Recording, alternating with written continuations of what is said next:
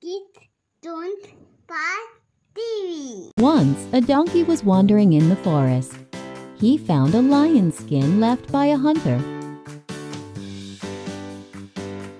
He dressed himself in it and pretended to be the lion. All the animals mistook him for the lion.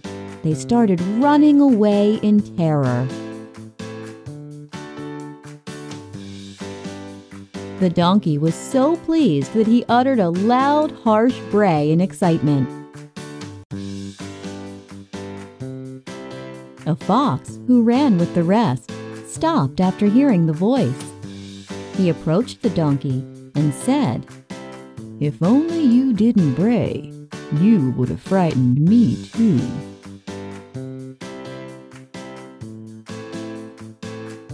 The donkey dropped the lion skin on the ground. He walked away with his head hanging in shame. Moral Clothes may disguise a fool, but his words will give him away.